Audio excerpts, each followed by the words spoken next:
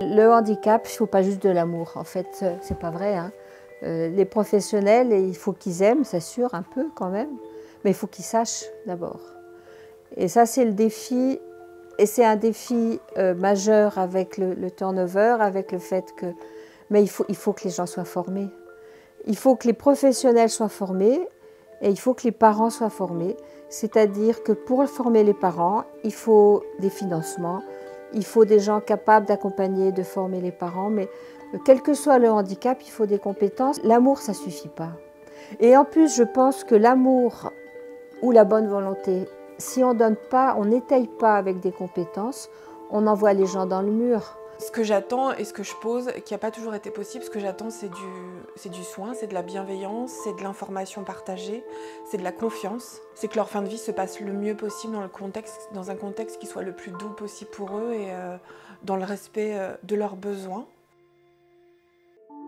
Il y a une vraie pénurie en ce moment de, personnel euh, dans ces métiers et c'est difficile de, blâmer les, principaux intéressés parce qu'il ben, faut se poser les questions euh, sur euh, pourquoi en fait ce, métier va si mal.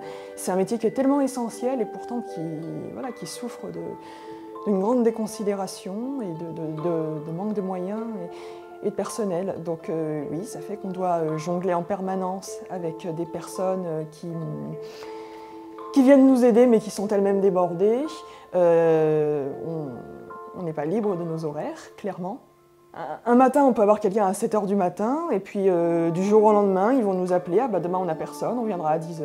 Enfin, c'est un peu de 50-50 à des moments. Euh, je dois accepter que, bon ben, là c'est moins important, on va dire. Alors ok, cette fois-ci, bon ben, venez plus tard, ou alors au contraire, venez plus tôt, même si ça m'arrange pas trop.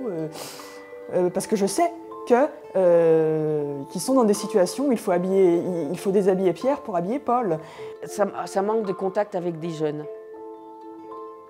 Je viens d'entendre, je ne sais pas si c'est sur Facebook ou si c'est à France Inter, une résidence qui a fait cantine commune entre une résidence de personnes âgées et une école maternelle.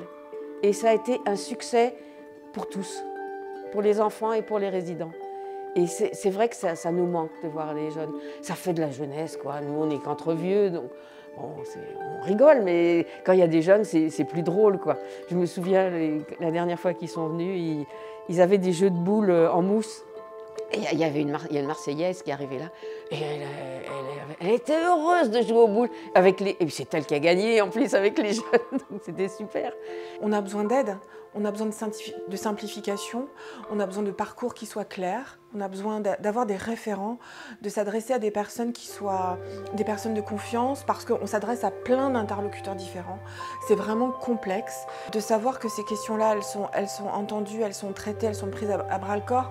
Bah, c'est ça mon message en fait. Euh, je trouve que tout est extrêmement compliqué et que dans ces périodes-là, on a besoin de beaucoup de simplification. Au contraire, justement pour se consacrer euh, à la relation à l'autre. Et si on se disait qu'on pouvait y arriver ensemble, quoi, c'est quand même cette histoire que euh, c'est ensemble qu'on va y arriver. Et avec des moyens, c'est bien pour ça qu'on touche aux politiques publiques, mais aussi avec chaque citoyen en fait. C'est pas, on peut pas dire c'est à l'État, c'est au département, c'est à eux. Moi j'y suis pour rien, c'est à eux de faire. C'est tous ensemble. C'est tous ensemble qu'il faut qu'on y arrive parce que euh, on sera gagnant de toute façon. C'est que euh, on sera gagnant de vivre ensemble. On sera gagnant. Voilà.